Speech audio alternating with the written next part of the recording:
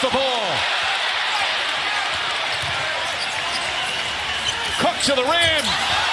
Blocked by Ibaka. And they can't save it. Goes out of bounds. It's going to be Golden State ball as Lowry goes diving into the stands. He's upset with a fan. Talking to Marc Davis about it. Lowry and a fan join. Another great block from Green.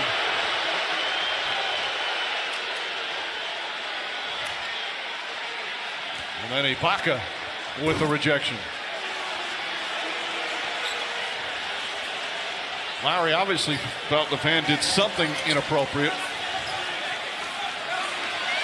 Looks like he's saying he pushed me. I don't know if he's talking about one of the Warriors or one of the fans. But he tried to dive for the ball, goes in, and goes crashing into the fan. There you see the ah, there's that in the, Well, blue got- shirt pushed he- him off.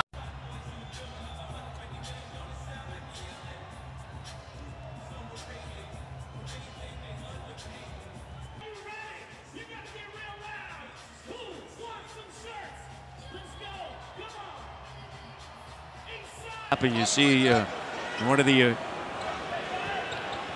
Well, it's interesting, Matt. He's got press security, pass too. He's got some